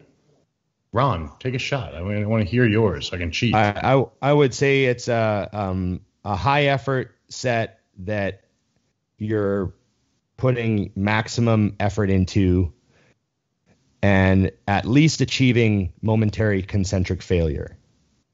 See, and I'm really glad I did not try to say that because that's flawless, and that's not what I would say.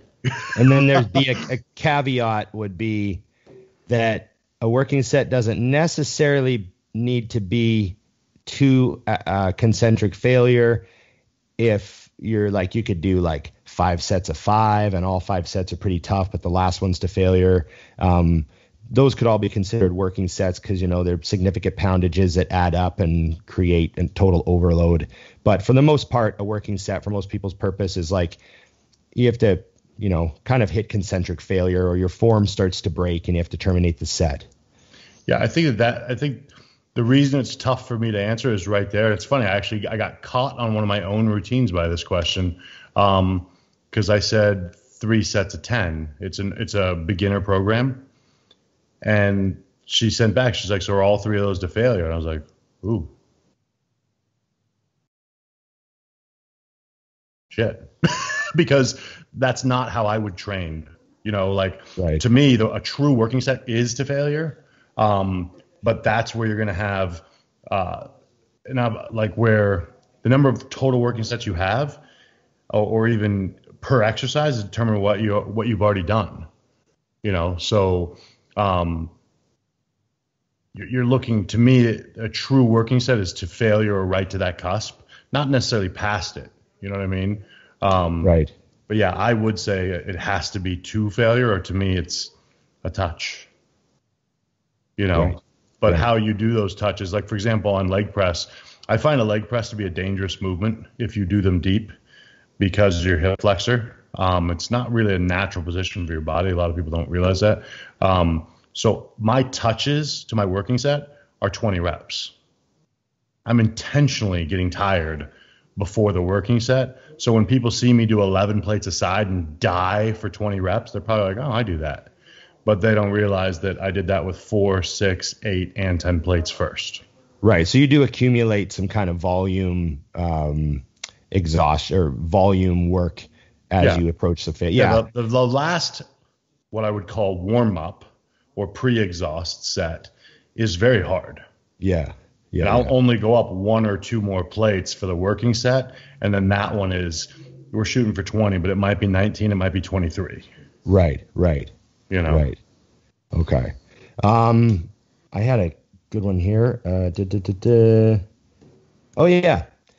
So I might change the wording of the question. So the question is um, best calves to thighs in bodybuilding, not just size, but harmony, balance, conditioning. So I think what they mean is, you know, sometimes we say who's got the best legs, but he's like, no, no, include the calves, like the full leg, foot to hip, who's got the best legs? And I don't know, it's hard to say. So do you want to just say at, at the Olympia, who had the best legs at the Olympia? Okay, this year? Yeah. Glutes, quads, hams, calves, balance, harmony, conditioning, all together. Best set of legs on stage. Akim Williams. I was gonna say either Akim or Hadi. yeah, you know a Good point. Uh, I think though, uh, for me, the reason is I think Akim's shape is flawless. Like the way it sweeps out. Like Hadi, when I look at his legs from the front, I go quads. You know what I'm saying? Like they jump at me. So when I'm thinking of harmony and balance, uh, which is so funny because Akim's the one of the biggest freaks on the planet, but Hey. it's also pretty. You know what I mean? Yeah. So Yeah. yeah, Akim would be uh, who I would say, and overall, and he wasn't at the Olympia, but should have been, is Flex Lewis. Yeah, yeah. Yeah. there you go. That's that, that's the answer, I guess. With the year off, you know, he wasn't really in the thought of the equation there, but that's always been the case. Yeah. Nothing could be nothing could be better. Nothing needs to be bigger. Yeah. Nothing. Nothing. There, everything is just perfectly crazy. Yep. You know. So okay, that's a good one actually. Um, I think we talked about this before, but you got a home gym and you only have room for one. Do you buy a hack or a leg press? Already has a rack and a bunch of bars, so he's already got a squat rack.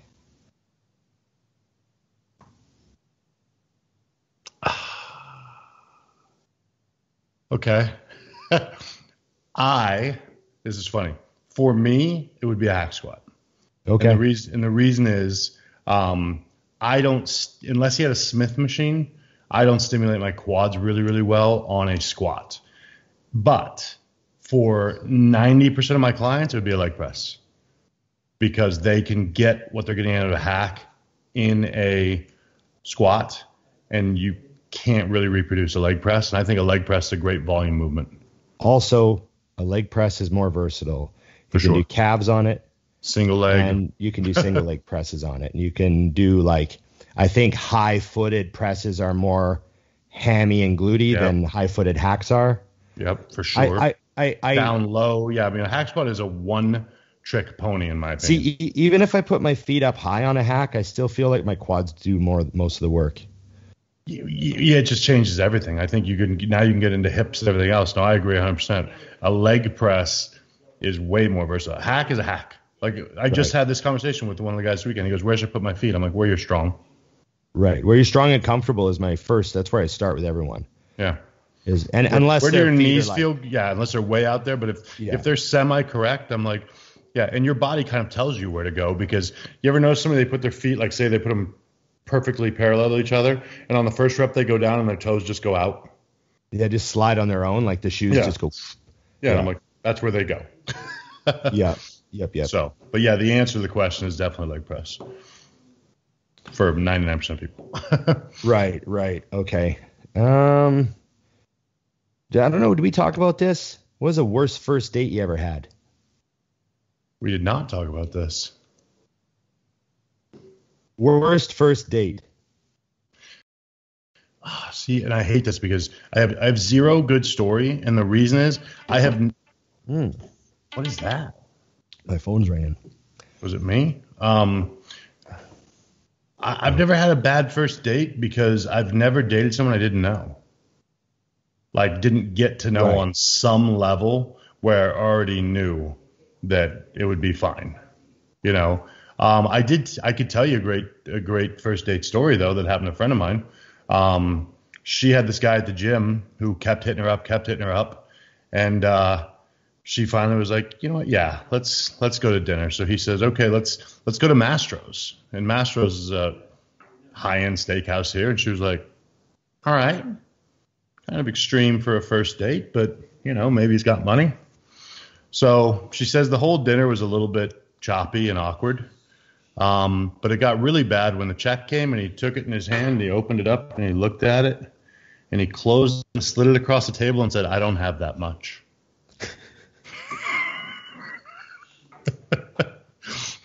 and he proceeded to ask if they could split it. And she said, You know what? I'm going to just go ahead and get this one. Oh man. Paid it, took her loss. And I got the call on her way home. And I said, You know what? I bet you that guy does it all the time. He's a fucking genius. That's funny. Maybe he already decided he wasn't into her. Yeah, maybe he was like, This is terrible. I'm not paying this $300. Yeah. but, but I mean, literally, I'm like, I, I, I was like, wait, so he actually physically slid it to you? And she's like, yep. God damn. But it's like, it's not like you didn't know. It's not like you went to McDonald's and all of a sudden the hamburger was $55. Like, you chose the restaurant. like, you knew what you were getting into when you when you pulled this trigger, it's uh that's why I think it I think it was on purpose. Or like you said, Right. maybe he was like, she sucks. I'm not paying 300 bucks for this. Or maybe he realized he wasn't getting laid. He's like, this isn't going anywhere. She don't like me. Right. That's funny. I uh I had a buddy. I, I I I think I already told the story about the girl I went on a date with, and she was in like law school, Yes, and you did the, the and drinker. she just started pounding gins, and I was like, holy shit, that was, was funny. My buddy went on a date with a girl, and they started, and they were having a great time, and uh, I guess she got really comfortable. She had a few drinks, so they started talking about like, oh, it's a, you know, it's the craziest thing you ever did, and they were like really heavily flirting, so they started kind of talking like about sex. Right. And then uh, uh, she just like tells him this story. he was like traumatized. She's just talking and she's like, "Yeah, I fucked three guys at once this one time. You know, we were just really drunk. They were kind of buddies of mine." And he's like, "You got gangbanged." she's like, she's like, "Oh, is that what you call it?" And he's Oh, like, good. "Yeah, yeah, Yeah. that's what it's called." Yeah, they ran a train on you. They sure did. so he said it was just like. he said he said it just like Check, please. Check. But the funny thing was, she's like, "Oh, is that what they call it?" And he's like, "Yeah, the, most people who've done one know what it's called." How did you get in this position and didn't know what that was called? You know what I mean? That just that that story always cracked me up. Uh, it's just Imagine he's like, I don't want this date to go where I thought I did ten Yeah, minutes and, ago. and then she's like kind of innocent about it, like, "Oh, is that what it's called?" like, is it is is that unusual? Does it matter what it's called? To be quite honest, is is the name the thing that's throwing you off the most about this? Right, right, right. The name concerns you. Okay, okay, okay. Um, let's see. I got to find another one now. Uh, I could I could while you're hunting, I'm gonna I'm gonna share a different story, the same story. So when I played hockey, we used to go to Canada to play all the time. right. and I was in my room asleep, and uh, one of my buddies comes in my room. He's like, "Hey, you got eighty bucks?" I was like, "Sure." It's in my wallet in my pants. So he leaves. I go to sleep. The next day we go to Canada's Wonderland. You know what that is? Like the amusement Oh, yeah. park. Yeah. So we go to the amusement park and we're waiting in line. I was like, "Hey, how was the stripper?" He goes, "It wasn't a stripper." I'm like, you got a hooker? He's like, yeah. I said, you lost your virginity to a hooker? He's like, yeah. I said, well, how did this work out? So apparently, this lady For comes eighty bucks. well, I don't know what the total was, but he needed 80.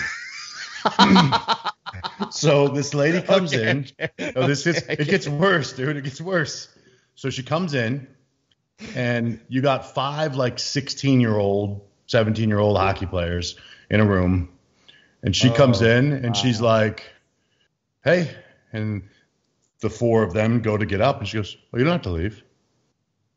And they're like, She's like, I'm here to Okay. make money. so no, so she takes care of him, goes in the bathroom, cleans up, comes out. Who's next? And as any good hockey player is, our goalie goes, me.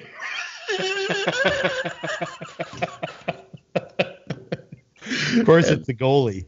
yeah, exactly. The, the the the most brain dead of the team goes for round two, and yep, that's what they did on that uh, glorious Oh. Saturday night. Jesus, Jesus. So parents, when your kids are out just playing sports, remember it's just fine. They're just getting hookers. Now, was the hooker taking American money, or was this already changed into Canadian funds? That's a valid question. I don't actually remember the answer to that. You know, but I just thought it was the weirdest thing because I'm like, oh, they got a stripper, whatever. oh no, you lost. You both lost your virginity to a hooker, and one of you got the sloppy seconds. Awesome. oh god, And that's the shit they do in Canada. That's why we're safe down here in the U.S. where weird things don't happen. that's the shit hockey players do, Dusty. Mm-hmm. Hockey players are like, they're always been the worst. Oh, that's a fact. That's They've been the worst. the the best. I mean, yes, worse. So fo- football players are bad, but not I was. Our football team behaved really well because like we didn't start playing ball till grade ten. Yeah. But at hockey, you've started so young, so you've been Five. like, yeah, so you're like so in the hockey world, and it's just you just changed By the time you're 15, you're just banging hookers and Yeah, we had, had puck had puck bunnies. That's what they called them. That's the girls that just hung out at the rink. Yeah, it's real life. oh man. Sorry, Oh, mom. man. Yeah, yeah, yeah, yeah. um, hey, let's talk. Uh, let's talk um, television. Yes, What are you watching? Yellowstone. Okay, so you I told started me it. you, you, we had a little we had a little joke about Kevin Costner with a cowboy hat. Yes. How we needed to see this again. And where are you now? I am. I'm on. I'm like six episodes in to the first season. Um, and here's the deal. It is Country Sons of Anarchy. That's what Ah. I'm watching. Sons of Anarchy rancher style. Exactly. And you, you're gonna uh, anybody who starts watching this after this episode, they're gonna watch the first episode. and be like, what the fuck are you talking about? Right. Just wait. yeah, I think yeah. around I think around episode three or so, things get a little more clear, and you're So- like, oh fuck. Do you want to know the moment when Sons of Anarchy was like, I was like, oh, okay, this show's going someplace. Do you want to know the moment? Uh, It was like episode two or three, right. and it was where Gemma goes to the hospital and gives that girl the book with the fucking loaded heroin syringe in it. Yeah. She goes, why don't you just do us all a favor and finish yourself off, or whatever the fuck she said to her. yeah, and gave a junkie Gave a a loaded junkie heroin in the hospital. a for an overdose. Syringe, for an overdose, a loaded syringe. He goes, "You didn't quite do a good enough job, you cunt," or whatever she says to her. I can't remember the.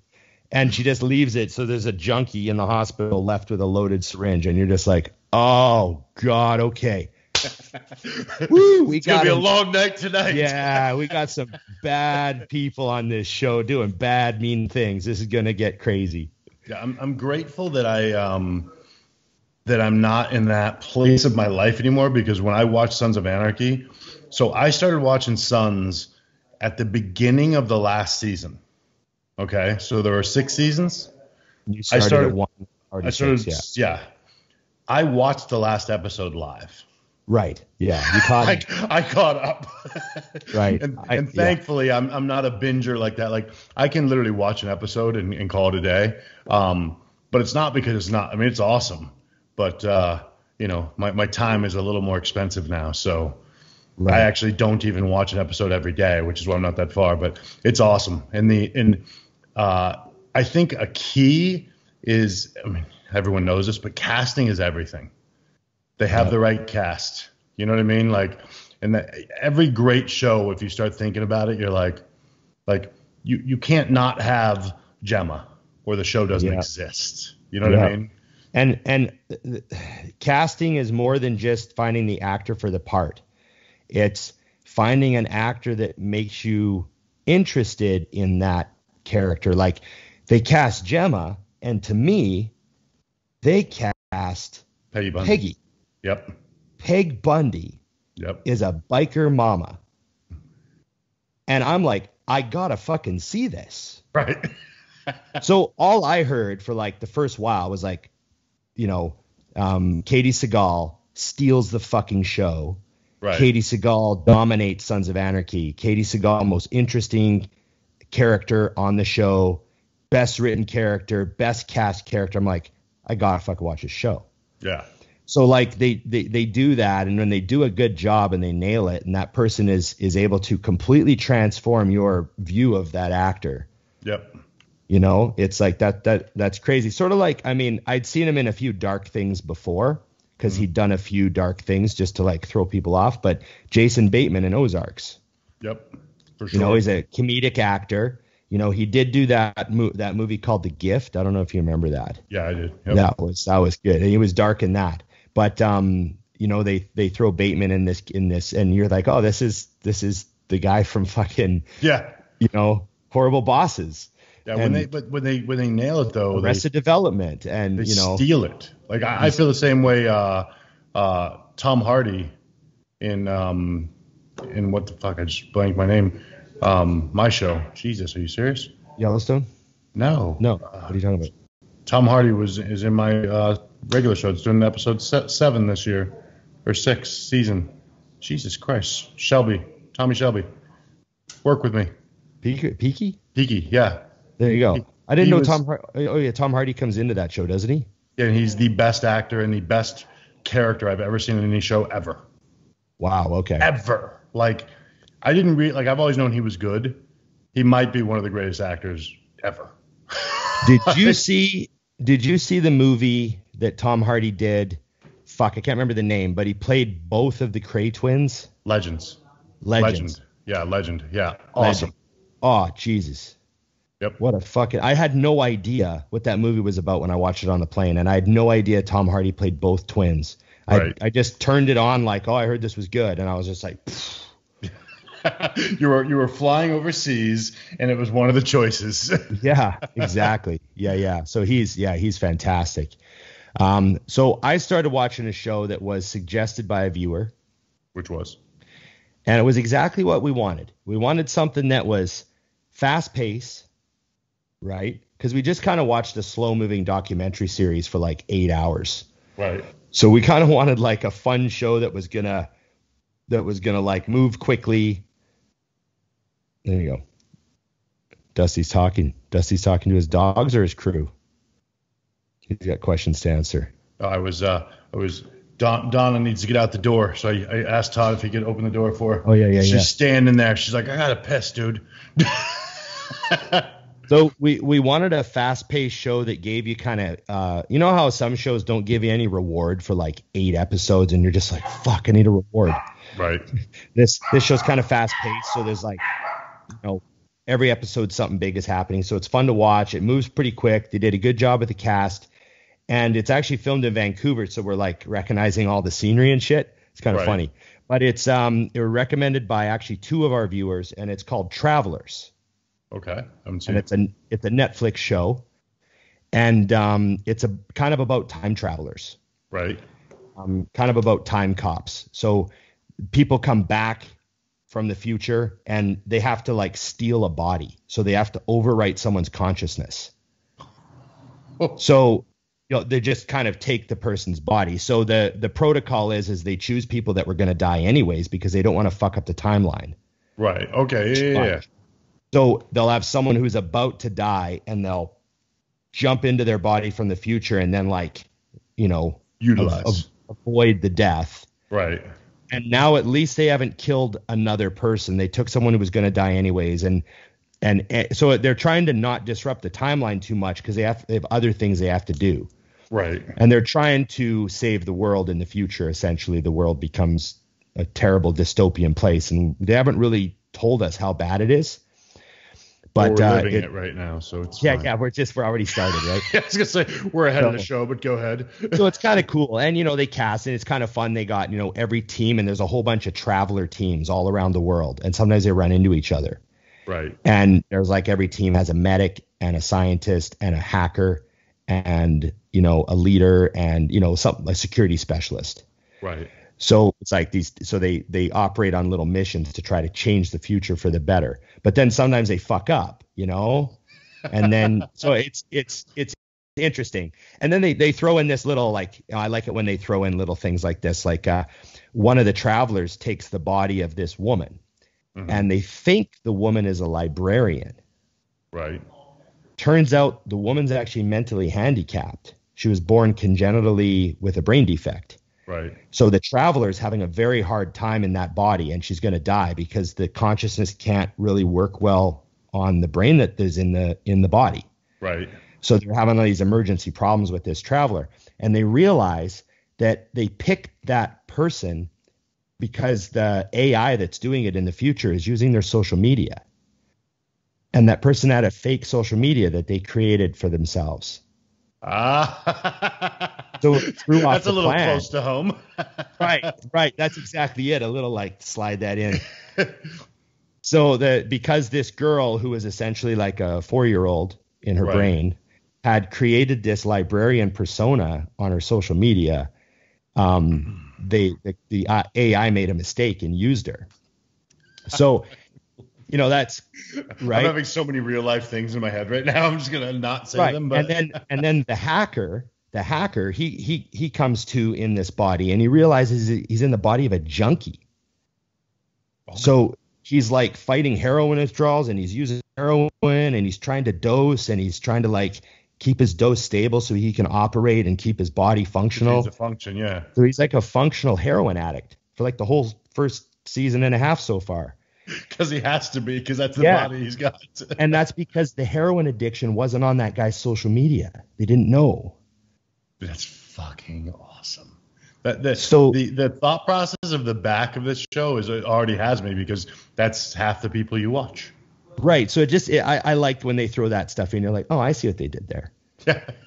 little Oh. jab at all of us. Yeah, yeah. Little bit- what would the future think I was? Yeah, which is actually funny because if you're in that, I'm helping the guys on uh, Condemned. That's something we're talking about is Right. that they need to make sure that people who are following them know them, Right. actually who they are. so we would be good bodies. Is my point. Right. I just, it's, We're it's good one of my, travelers. it's one of my favorite concepts and they they constantly reintroduce it subtly because there's new travelers arriving all the time right. To give them ah. news like sometimes they're in the middle of something but they've kind of fucked it up you know what i mean Yep. so maybe they kind of fucked something up but they're still trying to and then another traveler will just show up and go traveler 3487 abort your mission you're off mission Right. and they're like oh fuck we got to stop what we're doing because it's not it didn't work Right. It's not leading to where they needed to go. Yeah. So and but so there's new travelers arriving all the time, and there's always something kind of wrong. how many? How how deep are you in this?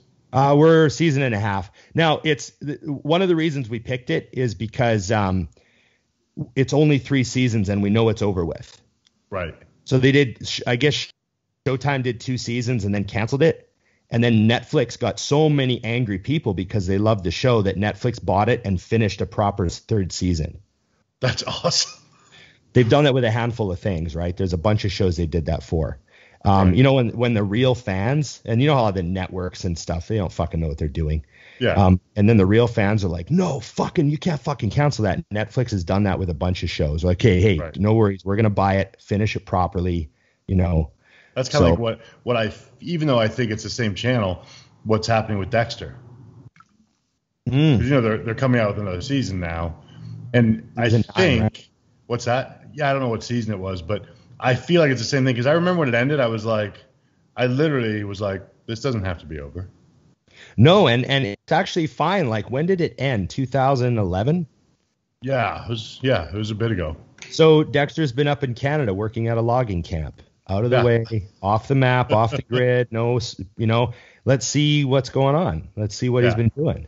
That was it's funny because you know you said uh, when you said that shows will drag on and not give any reward. That's what I loved about that show was there was the issue with the episode, every single episode that tied in with the full season issue that Right. had to be solved by the end of the year. You know what I mean? I always felt like they did good with that because, like you said, they would tie off this issue today, but we still have the one that's 12 episodes long. You know what I mean? They did. I thought whoever wrote that show was a genius. Yeah, yeah, it was awesome. St- to this day, I still think that season four of Dexter. Uh huh. Which Like, one was it- that? That was the season that had the family theme, where um, they bring in um, what's the actor's name to play the other killer, Oh yes, um, yes, the dad from Third Rock. yep, yes. Third- that Third was Rock from the Sun. What's what's that actor's name? I can't believe I can't remember it. John. Wait, now that you said that, I almost have it. To yell at the dogs. Um, God, I know what you're talking about, but yeah, that that was a crazy season. No, no, uh, John Lithgow. Yeah, that's right. Let's. John Lithgow. There you go. Crushes the show. And then how that show ended, how that season ended, that was just like, oh man, that was the peak of the show for me. Yeah, yeah. But when I'm done, I'm gonna go back to Peaky Blinders because I only watched uh, two episodes, and it was like, Yeah, oh, fuck, good. Yeah, I think I it's the only show I've seen where I do tell people if you're unsure, give it three episodes. Because that show also every season gets better all the way to season five. Season one is shit compared to season five, Right, right. for sure. Right. Four, like it just kept getting better and better and better. In Yeah. my opinion.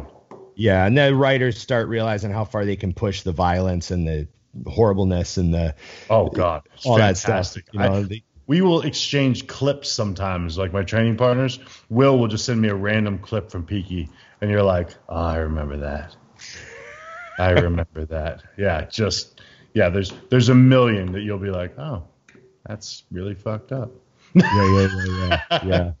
So what's your what's your view on this year, Dusty? Um, do you think we're gonna have? When do you think the bodybuilding shows will actually start? I happening. think uh, I think well, I mean, I'm talking. they just gonna move every single level. floor, uh, every single gonna- show to Florida? That's exactly what I hope they do. Right. Literally, I um, because I got guys, I've got multiple people getting ready for junior USA's, junior nationals, USA's, North Americans, and I wish that the promoters would just say it now and we could be done with it. Right. Um, and I know what they're doing. Obviously, with the presidential shit down here, they're kind of trying to see it out, see it through. But because of okay, so if we di- didn't have 2020, that would be a big. Oh, why are they doing that? Everybody just wants to know that their show's going to happen. right. They want to be? know they're going to be able to go. And I don't want to sit in a fucking mask and watch your show. Like I don't wear masks anywhere anymore. I've just stopped. Um, and uh, it's that's kind of the vibe. Like I think people want to be able to go do it normal. Or Do you think they'll have like every single state show in Florida, like Missouri State in Florida? well, I think I mean, though he- I mean, I totally know what you mean. I think now they won't because at least most of the states, minus the two stupid ones of New York and uh, California, um, we're kind of open. But then the other thing that sucks is these promoters can't make as much money right. because of all the stipulations and the rules. So I hope that it all starts to change because at some point people have to realize that it doesn't make sense Right. because you know Todd's going to get on a completely full airplane tonight after standing six feet away from someone waiting in line to get on that plane. yeah, I know. like, you know, so every single seat's going to be full once you're in it in the capsule that I like to call a petri dish. Um, you know, so it's, it doesn't make sense, but no, I, I really do. I hope that all the big shows just say, fuck it, let's make it Florida, and we're good. And, and that's not convenient for me at all. So it's not like I'm saying that like, oh, well, I live in Miami, so why not? It's fucking far, and I have to go to every single one, but I want to know what's going to happen. You know, I got I got too many, especially after last year. I got guys that needed to be on stage last year, and I was like, I don't think we do it. You know, Yeah. and we all had Yeah, great yeah. off season, but now like like guys like Cole and Tommy, they're fucking dying to get on stage. They haven't competed in two years. Yeah, I got a I got a couple people that purposely took like 19, 20 to grow. Yeah, like, holy fuck, what a bullet I dodged. You know, Yeah. they're Well, I had a few that took 19 to grow because 20 was the year, right. There's a few, yeah, yeah, and you're like, So- that looks like you're taking two years to grow, kid. yeah, yeah, definitely. Okay. Well, is that it, Dusty? We almost went two hours. We did, and you uh you you killed it with a million questions, man. Good work. I, I and then I got to do the rest on my story. You know, Yeah. because I got I got asked like I got asked a Star Wars question. I'm not going to Yeah. burden you with that, Dusty. I, I, I- it's just I have such an opinion of it, you know. I don't got I, I got asked I got asked to rate in order three Beastie Boy albums. I mean, I can't wait to answer these fucking questions, Dusty. But you're gonna have to watch my Instagram for them. See, and I, I will because I am actually. That's like when you asked the what was it the the ACDC question that you answered, and you were like, I hope it didn't go too long. I was like, fuck no. I was like just sitting there taking it in. I had no idea about any of this shit. It was like the greatest moment for me. I, I watch I watch most of your questions. I'll skip the odd one if it's well, because like you know most of a lot of them are gonna know exactly anyway. yeah. So like sometimes it's like how much should I eat? I'm like oh, I'm gonna skip this one. Yeah. But then there'll be like a question, you know, I'm like, oh, I want to hear what Dusty has to say to this guy because this is clearly a great question or this is clearly a stupid question. So Dusty's going to have to take care of business on this one. one way or the other, this might be Yeah. good. This might be a to sarcastic answer. We'll see if Dusty laughs at this one or gives a serious answer. So no, no, it's good. But uh, yeah, man, it's it's gonna be uh, it's you know, it's gonna be good. Oh, and we got some guests coming up. Um, we got a, a few people waiting in the wings, but we just got to book them. We just got to give them some Mondays. Yep. So let's start lining those guys up. Get them on. I know Zane Watson wants to come on the show. I'd love to have him on. Love to have Zane on. So I already talked to him. He's whenever we want to do it. So we just got to give him some notice. Um, so that would be great. Zane's one of the guys I missed this year. Right. He was, I mean, he was in Ontario, Right. So I mean, it's like Jim's. Uh, he's got his own gym, obviously, but it's you know lockdown city for like most of the year, right? Yeah. So I I, I see why he just hunkered down in his own gym, just pulled up the hoodie and just fucking went to work. It might be I think it's might, nuts. well, it might be Zane Watson surprise time 2021, right? It's 2.0 now. Yeah. Okay. I think a lot of guys it's going to be cool to see because they did take that approach. Yeah. Some So of the guys exciting that, to see. I'm- You're like, yeah, exactly. You know, who knows what we might have some surprises in 2021 because there's some guys that were like, okay, I'm just gonna sit in my basement for the year and eat. I think I think Hollingshead kind of opened that up too because not that we all knew that James was good, but I think he kind of gave everyone the realization like, but what if you went all in? Mhm. Because he went all in. like, Yeah. You know, a year ago I wouldn't have been like, oh, he's definitely going to win both shows he does next year. Right. I'd have been like, yeah, he's top five for sure, first call up. Yeah. You know, but it would not have been, well, he's going to win. You know. Right. So no, I think I think that's a game changer. You know who else I'd really like to get back on because I just can't get enough is uh, is JP. McCall. Yeah, I, I want to get him back in because every single time. The only thing is, is we're gonna have to do the show a little earlier because I have to go to the gym after we talk. I have to.